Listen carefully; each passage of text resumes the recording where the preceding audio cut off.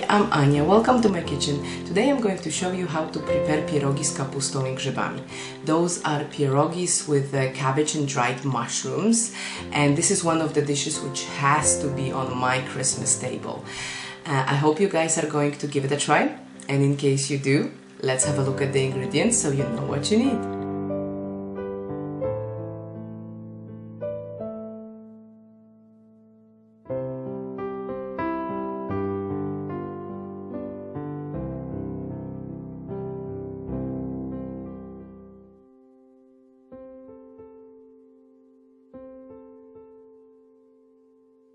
So I'm uh, usually starting the um, the night before.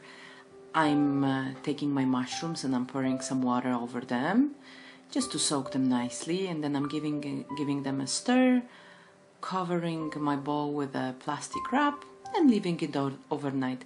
It does not have to be overnight, you can just um, do it for at least two hours. Then I'm going to drain my cabbage and I'm going to give it a taste and mine was really sour so I had to um, actually rinse it. And then I drain it again and when that was ready I'm just transferring it into my saucepan and adding around a cup uh, of a cup and a half of water.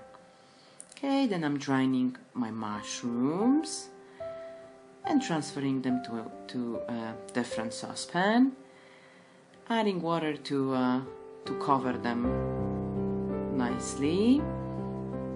Here we go. And then both my, our saucepans are going to the stove. We're adding our bay leaf to our cabbage and then we're going to be cooking it until and mushrooms and cabbage is soft. It can take for mushrooms uh, even up to an hour. And then we're draining our mushrooms draining our cabbage. Then I'm going to give a squeeze to the cabbage to get rid of um, any sauce. And then I'm chopping my cabbage very finely and again giving a squeeze to my mushrooms. And then chopping them finely as well. Okay, now it's time to chop our uh, onion. And on the high side uh, frying pan, I'm adding some uh, oil, around 2-3 uh, tablespoons of oil. And then I'm adding my onion. And I'm going to be cooking it for around 2-3 minutes until my onion gets soft and glossy. Just like that. And then I'm adding my cabbage and mushrooms to it and I'm going to cooking it I'm going to be uh, cooking it for five minutes. Well basically what we're trying to do right now here uh, to blend all the all the flavors as well as, as uh, getting rid of any liquid if there was left.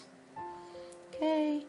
I uh, I checked for seasoning. I'm adding pepper. And I have to also add some salt but check it for the salt because if the cabbage was salty you might not need to add any. Okay, then we're giving it a good stir. And this is ready. Now in the large pot, I'm filling it with water, adding a teaspoon of salt, and I'm going to be bringing it to a boil while I'm working on my pierogi. In my food processor, I'm adding the flour, and then my salt,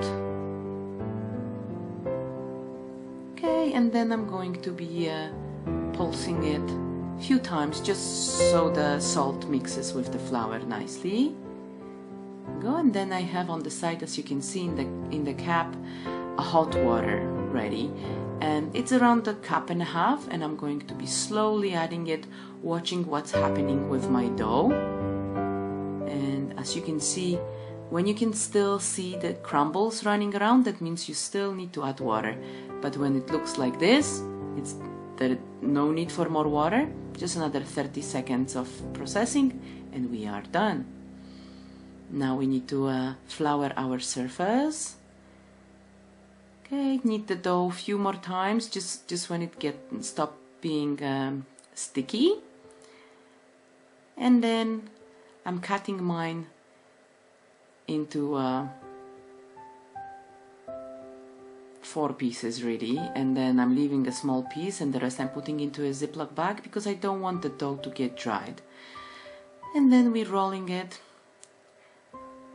adding some flour if it gets sticky and then we're trying to roll it to around 2 millimeters thick.